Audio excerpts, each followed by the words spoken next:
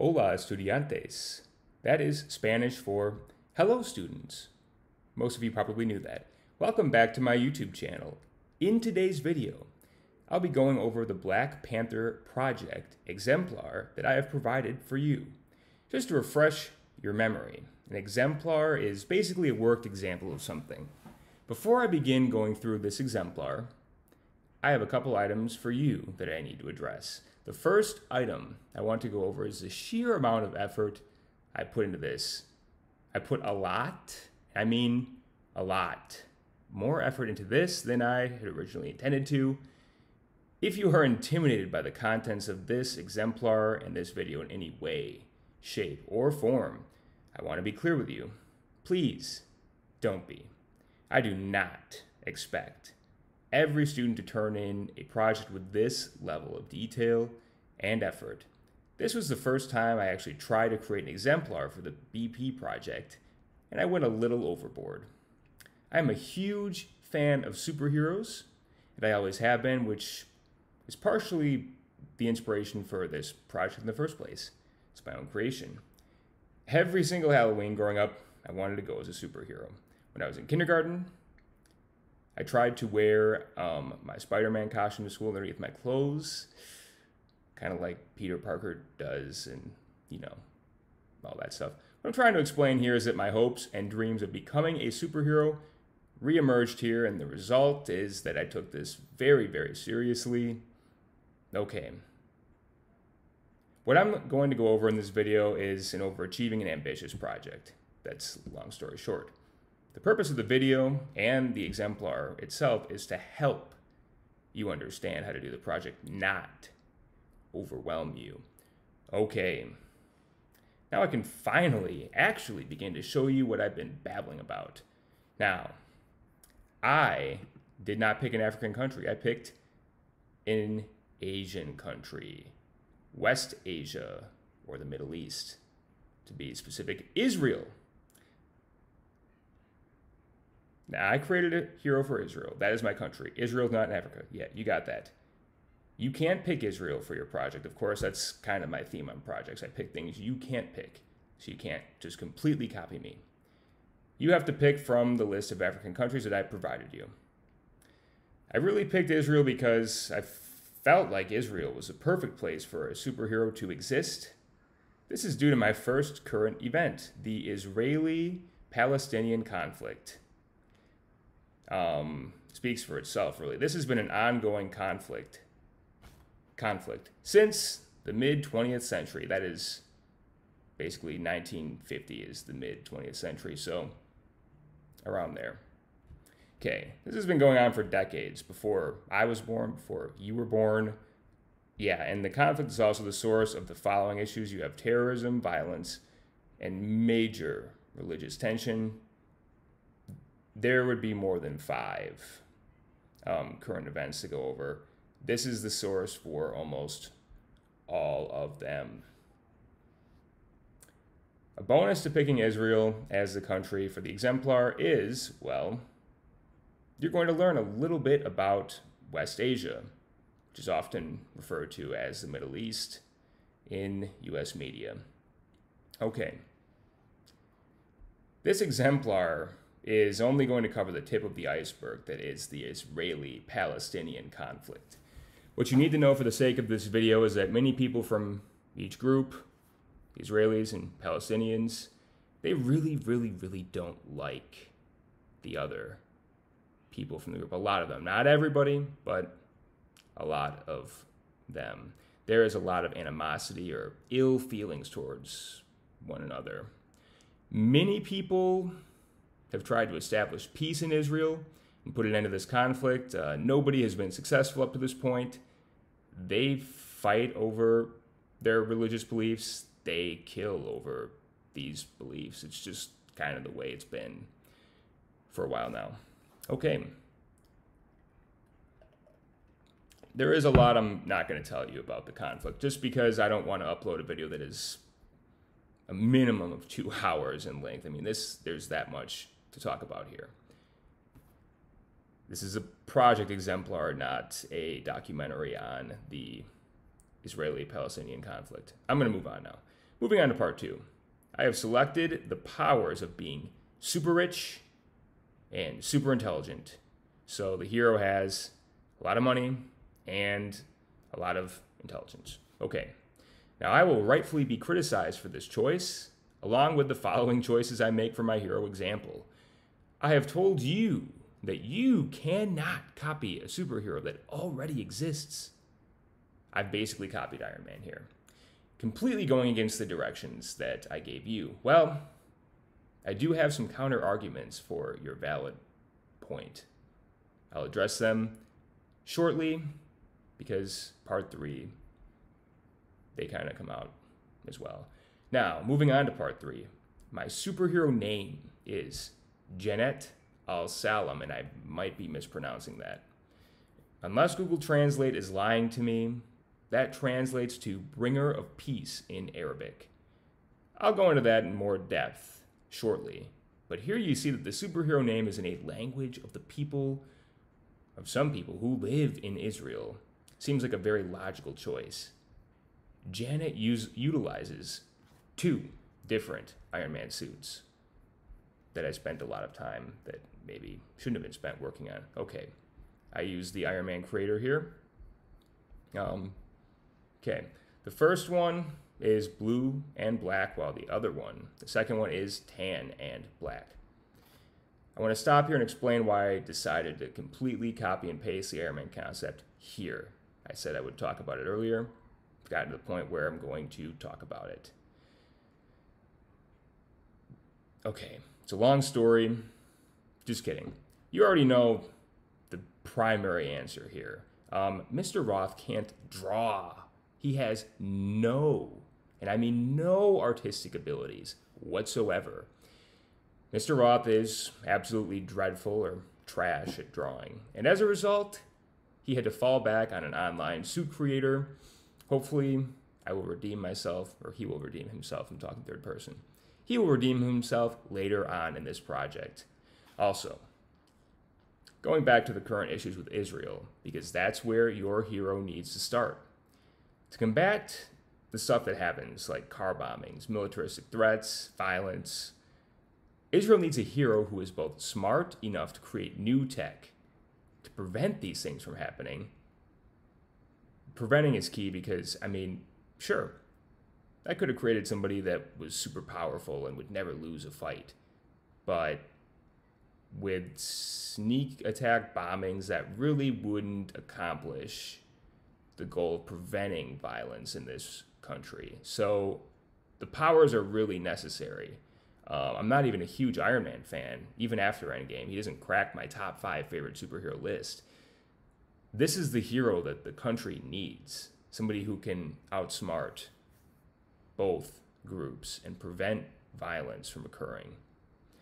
Now, I strongly, strongly, strongly urge you to try to create a fresh and original hero for your country that really reflects the culture of your country in a unique way. You can use the online programs if you want, but I really enjoy it when students think outside the box and design something completely original and unique. Mr. Roth would have gone this route. I would have gone this route if I had the artistic ability to do this. Self deprecating humor aside, that means humor at the expense of myself. The Iron Man concept fits excellently. It's a, Israel is a developed nation, so there's enough natural resources to get by as well. And they there's jobs. I mean, it's not like it's a third world country um, there's just violence, and the powers of the suit really would make a big difference in a positive way. Here we go to the next point. Letter C. Explain how your hero's costume enhances their superhero powers and or fighting abilities. K. My superhero has a suit that enables him to fly, shoot lasers to destroy RPGs and missiles, and other generic Iron Man powers.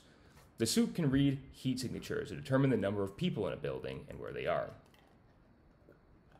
In addition to this, excessive heart rates of people in the vicinity, so can detect if somebody's feeling nervous. The suit can also deploy tactical EMPs designed to take out terrorist tech. The suit picks up on bombs in a given area, an invaluable skill for preventing suicide bombings that do happen. Okay. Moving on.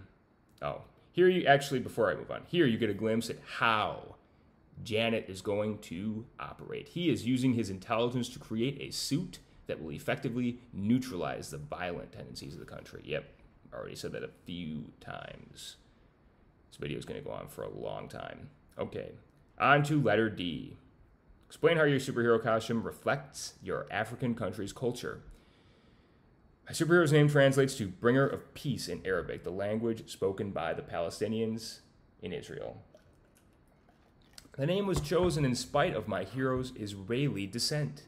He made this choice as a way to underscore his mission to repair the tension between each group free of bias.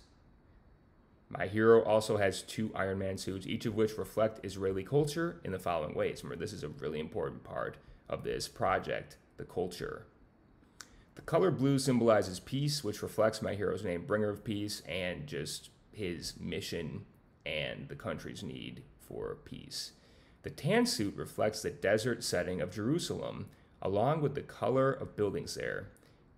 This is because Israel is known throughout the world for its desert setting. Buildings actually have to be that tan color. So there is your local identity type thing. Okay. That's a lot for one section, right? Well, not ready to move on. I'm trying to jump ahead. Well, the reason for a lot here is that this is really important. One of the four graded skills on this assignment is culture. This is the area where you get to demonstrate how and why your hero reflects the culture of your African country. The most obvious example of a superhero that reflects the culture of a country is Captain America. said it a thousand times in the other videos up to this point you know, the star, the colors of the flag, personality is representative of American values like freedom, right and wrong, stuff like that. Okay, you get it. Don't just copy and paste Captain America either. Be original. Create the perfect hero for your country.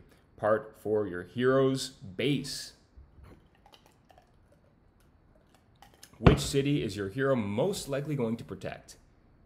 Jerusalem. It was clear. It's not the most populated city, it is populated. I mean, shoot, metro population 1,253,900 ish.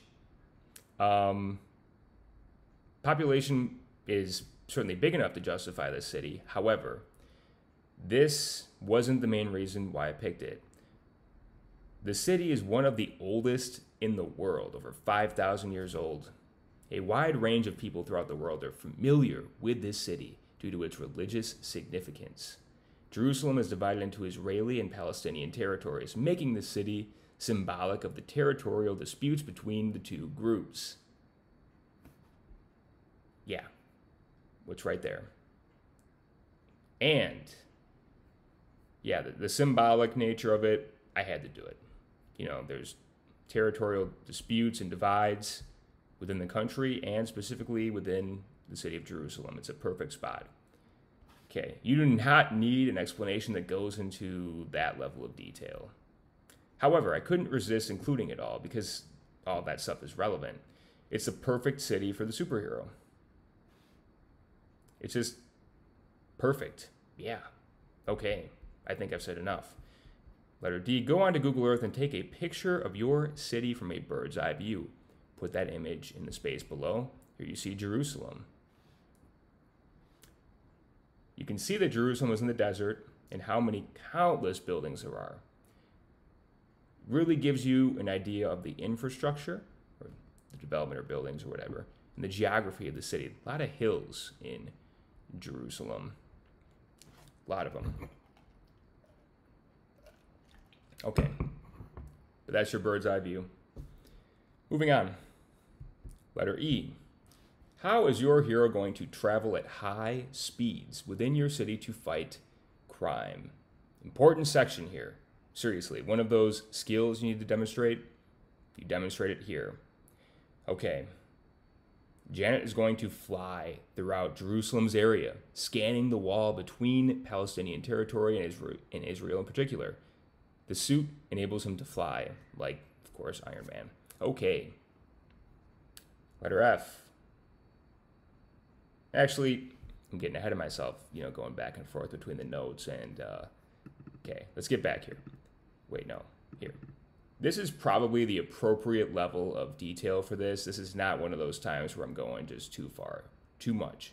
This is the appropriate level of detail since it's really important. Um, you might even need more than this.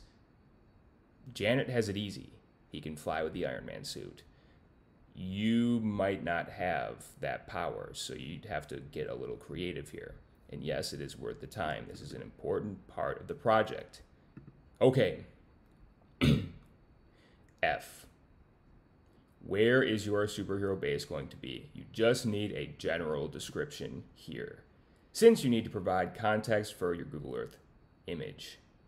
Okay, I need to know if you have a specific zoomed in area. I need to know where that is. You can even put a locator map and that'd be great. I maybe should have put one in here as well.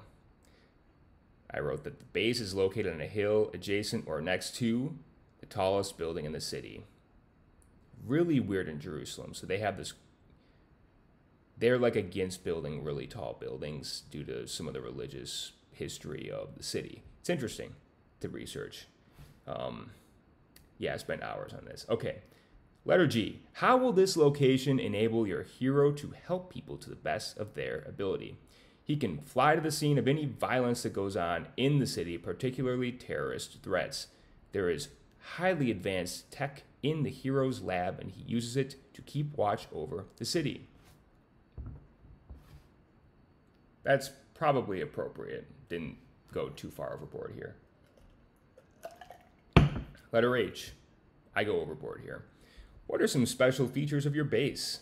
The device that looks like a satellite is programmed to shoot a laser beam at incoming missiles and RPGs, so it's a missile defense system.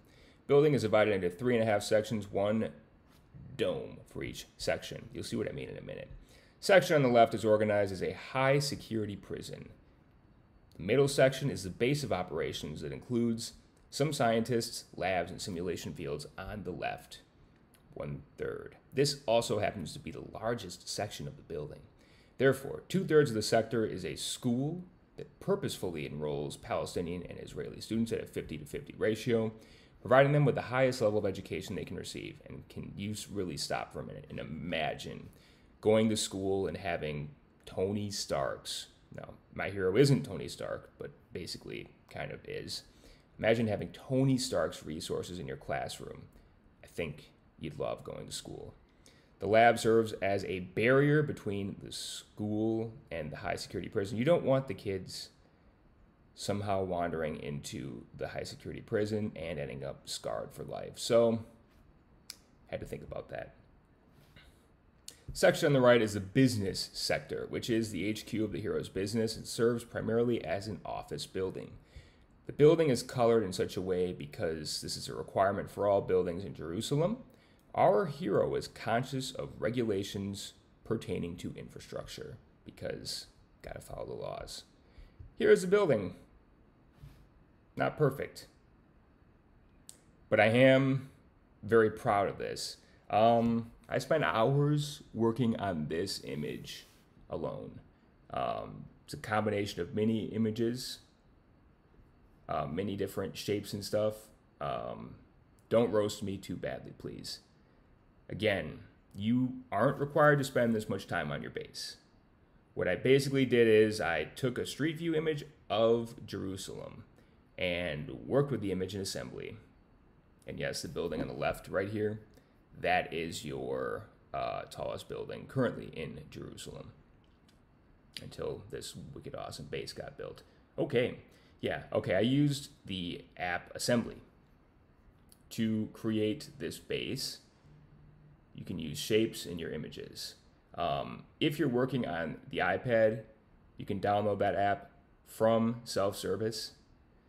Um, for me, since I basically copied and pasted the entire concept of Iron Man earlier, I really wanted to uh, contrast from Stark Tower as much as possible in my base design so I could be at least somewhat original. Um, Yeah, I wanted my hero to have a base that addresses many different issues within Israel as possible. And remember, the more thought, time, and energy spent on this, the better the grade. You do not have to use an app, guys. You can use paper to draw the base. You do need to have a Google Earth image. Could be Street View, could be from above, looking down. Um, and some places, some places don't have Street View, so that might not even be an option. You might have to use a Google Earth image. Um, Google Earth or Google Maps, you have to have something like that here, and it certainly would not hurt your grade. In fact, it would help it if you had a, you know, building shape relatively to scale because I feel like this is relatively to scale um, in your image. And that is part of the grade, the relatively to scale part.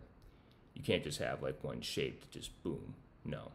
Has to be relatively to scale as best as possible. Okay. Moving on, since this is already going on for a while. Part five Your hero's story.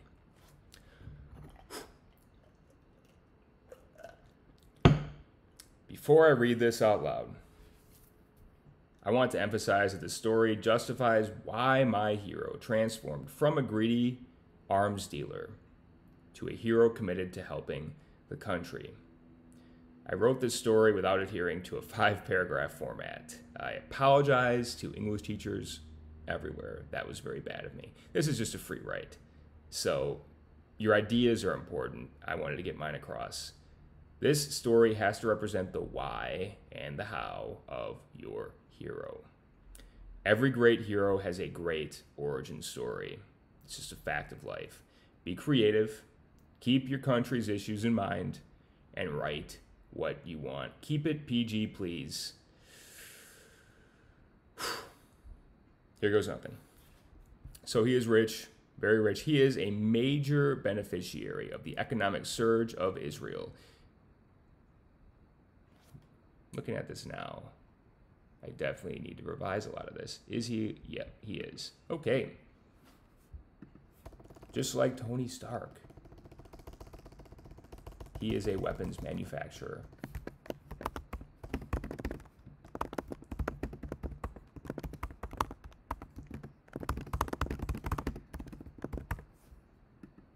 It's just great that I'm doing this. Okay.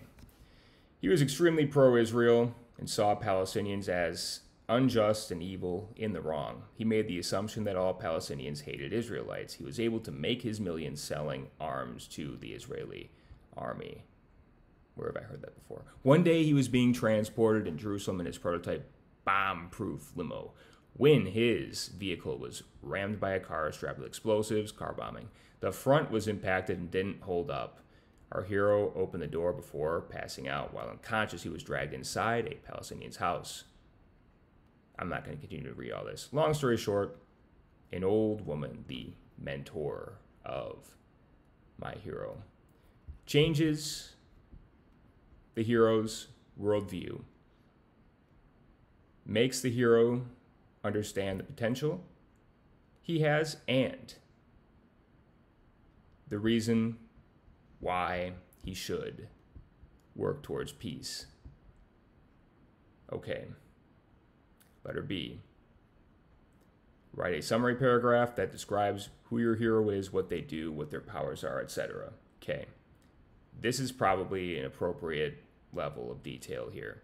The hero uses the Iron Man suit to fly around the city of Jerusalem and prevent violence and brutality between Israeli and Palestinian groups. The suit's ability to pick up on bombs, missiles, and heat signatures combined with its ability to then dispose of these weapons by force makes violent action impractical or pointless, since it yields no results. The hero also uses his position atop one of the most lucrative companies, so rich or wealthy, profitable, you get the idea, in the world to support peaceful resolutions at the political level. Moving on. Your final conclusion. Okay. You're going to explain your superhero, uh, how your superhero is going to use all of their resources, powers, base, Kashmir, to solve the real problems and fight crime within their major city or country. You can read the rest. A Couple things here.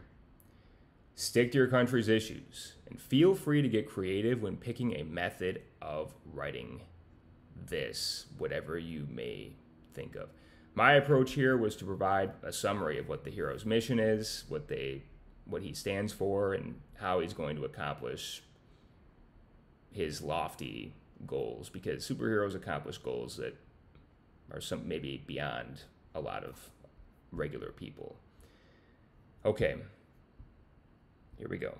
The hero's ideology stems back to the woman that rescued him from Hamas, but it's also realistic. He understands that negotiation alone will not, whoops,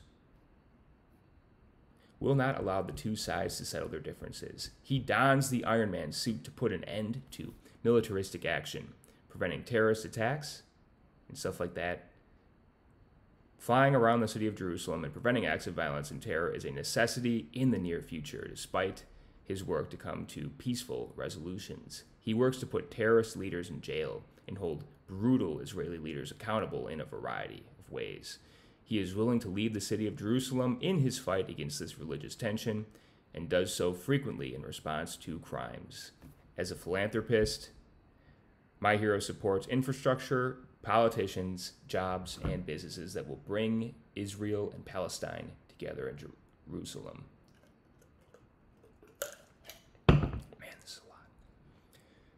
He will create festivals that celebrate the history of Jerusalem and the two religions coming together. He is a public fi- uh, figure who will lead by example in this way, and da- he will dare to speak out in support of Palestinians in spite of being an Israelite.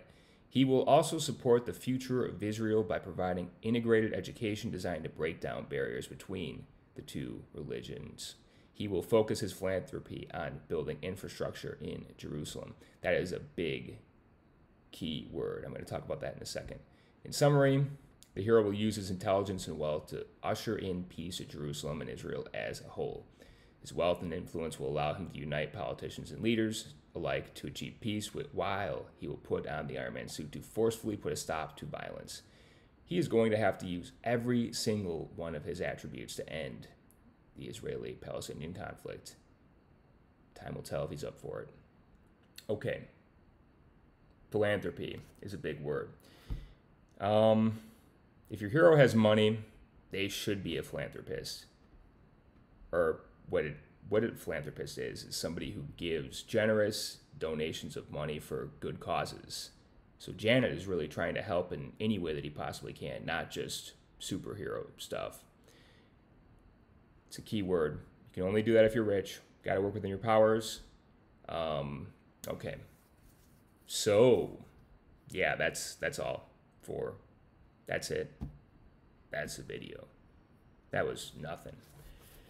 I knew going into this that the video would not be short. I really tried to set the bar high on this exemplar, and hopefully, I didn't overwhelm any students that work on this project. I really hope that this helps some of you when you're working on the Black Panther project. I basically tried to recreate my classroom instruction in each of these videos, um, but I know I forgot stuff. There's just it's, it's not perfect. It's not the same as being in a classroom, giving instruction to you guys and having you ask questions where you're confused about stuff. Um, I tried to think of everything, which is why there's probably hours of video content on this project alone. I'm not perfect, but I really tried as best as I could to help you during the uh, pandemic. Creating the, uh, these videos is my way of bringing my incredible wisdom and teaching prowess to you. I want to thank those of you that have stuck with me in this process and are following the flipped classroom instruction videos. You are the ones who make all the time and preparation I put towards making these videos worthwhile, and I appreciate you. If you have any questions, do not hesitate to ask me anything pertaining to this project. Drop a like, subscribe to my channel. Mr. Roth out.